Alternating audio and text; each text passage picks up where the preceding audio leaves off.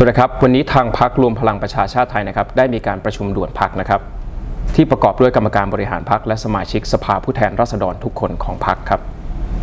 ทางพักทราบดีครับว่าวิกฤตโควิด -19 ที่ประเทศไทยและทั่วโลกกำลังเผชิญอยู่ณตอนนี้ เป็นวิกฤตที่หนักหนาสาหัสเพียงใด ทางพักไม่ได้นิ่งนอนใจครับ ทางพักได้มีการรับเรื่องจากผู้ใช้แรงงาน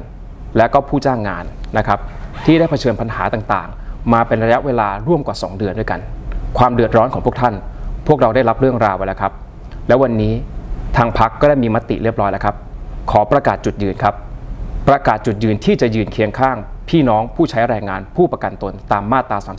33 โดยได้มีการออกจดหมายจากท่านเลขาธิการพักรวมพลังประชาชาติไทย ท่านทวีศักดิ์นัตตะกัวทุ่งนะครับ วันนี้ผมได้ทำหน้าที่มาส่งมอบจดหมายนี้ให้แก่ท่านผู้ช่วย รัฐมนตรีว่าการกระทรวงแรงงาน ท่านดวงฤทธิ์ครับ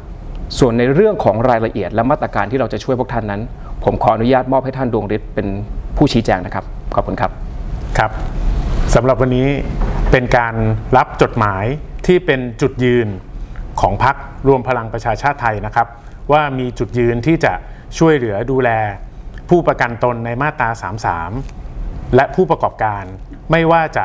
เป็นผู้ประกอบการที่รัฐสั่งปิดชั่วคราว หรือผู้ประกอบการ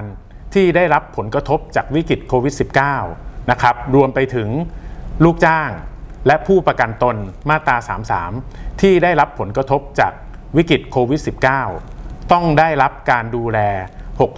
62%จากเงินเดือน ตรงนี้ก็จะนำหนังสือไปส่งให้กับท่านรัฐมนตรีว่าการกระทรวงแรงงาน เพื่อเป็นจุดยืนของทางพักรวมพลังประชาชาติไทยครับ